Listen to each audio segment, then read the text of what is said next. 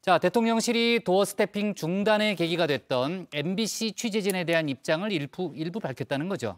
네, 대통령실 관계자는 도어 스태핑이 가치 있는 소통 방식이라고 생각한다면 정착될 수 있도록 언론인 여러분들도 협조해달라고 했습니다.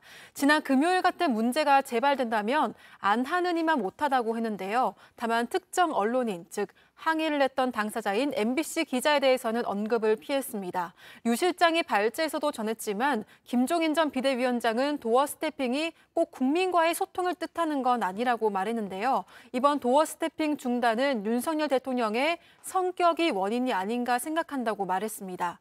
본인 성격에 맞지 않은 건 참지 못하는 성격이라고 말했는데요. 직접 들어보시겠습니다. 우리 윤석열 대통령께서는 정치를 해보신 분이 아니에요. 예. 뭐 정치인들이 흔히 얘기하는 대로 인내하고 참고하는 이런 성격의 소유자가 아니시기 때문에 네. 즉흥적인 반응을 갖다 보일 수밖에 없다고만 판단해요. 네, 이 도어 스태핑 중단에서 보여준 윤 대통령의 성격이 이 불편한 걸 참지 못하는 것 같다는 주장도 야권에서는 나왔는데요. 정의당 박원석 전 의원입니다. 소통이라는 건 불편한 걸 눈앞에서 치우는 게 아니라고 했는데요. 직접 들어보시죠.